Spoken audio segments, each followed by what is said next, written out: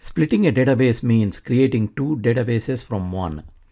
One of the database generally called the backend contains only tables and relationships. The front-end database contains queries, macros, code, and UI elements such as forms and reports. The front end also contains links to all the tables in the backend. The database splitter helps you split an application into front-end and back-end databases. For example, try to split the Northwind database. Select the Database Tools tab in the ribbon. In the Move Data group, click on Access Database button. The opening wizard screen explains the actions of the database splitter and suggests that you make a backup of the database before proceeding. Click on Split Database. Create Backend Database dialog box lets you specify the location of the backend database.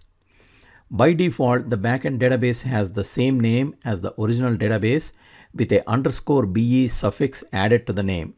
Specify the permanent location for the backend database.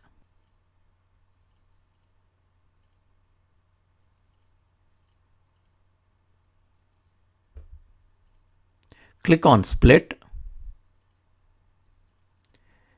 Database Splitter creates the backend database northwind underscore BE then exports all tables to it, deletes the tables in Northwind database, and creates links to the backend tables.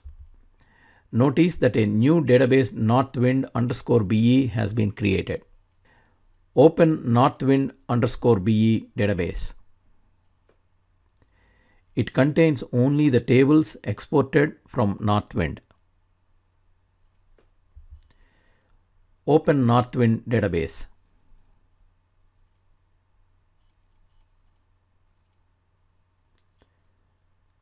Notice that the icons associated with all the tables in Northwind have been changed, indicating that they are linked to tables in the backend database. Northwind also contains other objects like reports, forms, etc. If you like this video, please subscribe to our channel.